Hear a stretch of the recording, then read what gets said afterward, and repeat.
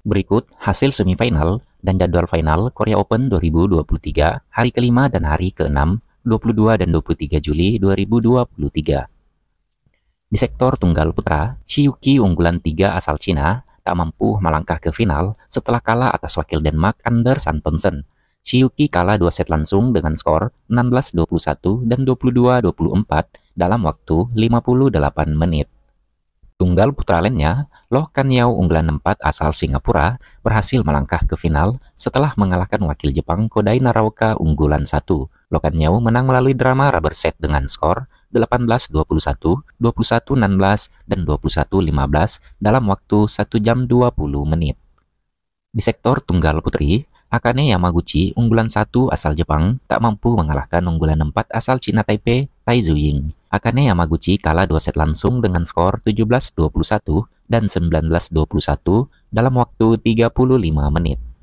Tunggal putri lainnya, Chen Yufei unggulan 3 asal Cina, juga tak mampu mengalahkan unggulan 2 asal Korea, An Seyong. Chen Yufei kalah melalui drama rubber set dengan skor 21-15, 8-21, dan 22-24 dalam waktu 1 jam 18 menit.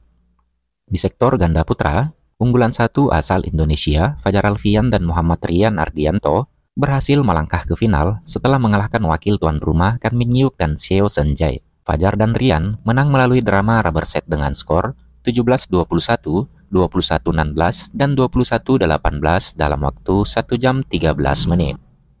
Ganda putra lainnya, Satvik Sairaj, Reddy dan Chirag Shetty unggulan 3 asal India berhasil mengalahkan unggulan 2 asal Cina, Lian Weikeng dan Wan Cheng. Reddy dan Shetty menang dua game langsung dengan skor 21-15 dan 24-22 dalam durasi 40 menit. Di sektor ganda putri, Cheng Chen dan Jie Fan unggulan 1 asal Cina kembali berhasil melangkah ke final setelah mengalahkan wakil Cina lainnya Zhang Zuxian dan Zheng Yu unggulan 3 dua game langsung. Chen dan Jia menang dengan skor 21-12 dan 21-12 dalam waktu 35 menit. Ganda putri lainnya, Mayu Matsumoto dan Wakana Nagahara unggulan 5 asal Jepang tak mampu melangkah ke final setelah kalah atas Kim Soyoung dan Kon Hyeong unggulan 4 asal Korea. Mayu dan Wakana kalah dengan skor 16-21, 21-19, dan 12-21 dalam waktu 1 jam 4 menit. Di sektor ganda campuran, Fen Yangzi dan Wan Domping unggulan 4 asal Cina berhasil mengalahkan wakil Thailand, Decapol Povaranukroh dan Sapsire Teretanahai unggulan 2. Feng dan Huang menang dua game langsung dengan skor 21-18 dan 21-14 dalam waktu 45 menit. Ganda campuran lainnya, Jan Zembang dan Wei Yaxin unggulan 8 asal Cina berhasil mengalahkan unggulan 3 asal Jepang, Yuta Watanabe dan Arisa Higashino. Jiang Zhenbang dan Wei Yaxin menang dengan skor 21-12, 20-22, dan 21-12 dalam waktu 55 menit. Berikut jadwal final Korea Open 2023 hari terakhir 23 Juli 2023. Perhelatan ini disiarkan langsung oleh Spek TV serta iNews TV. Di partai pertama akan berlangsung pertandingan ganda campuran antara Jan Zembang dan Noyaksin unggulan 8 asal Cina akan berhadapan dengan unggulan 4 juga asal Cina, Pen Yangzi dan Wan Domping. Partai pertama ini akan dimulai pada pukul 10 waktu Indonesia Barat. Di partai kedua akan berlangsung pertandingan ganda putri antara Cheng Kin Chen dan Jie Fan unggulan 1 asal Cina akan berhadapan dengan Kim Soyoung dan Kon Hyung unggulan 4 asal Korea. Pertandingan ini diperkirakan mulai pada pukul 11 waktu Indonesia Barat.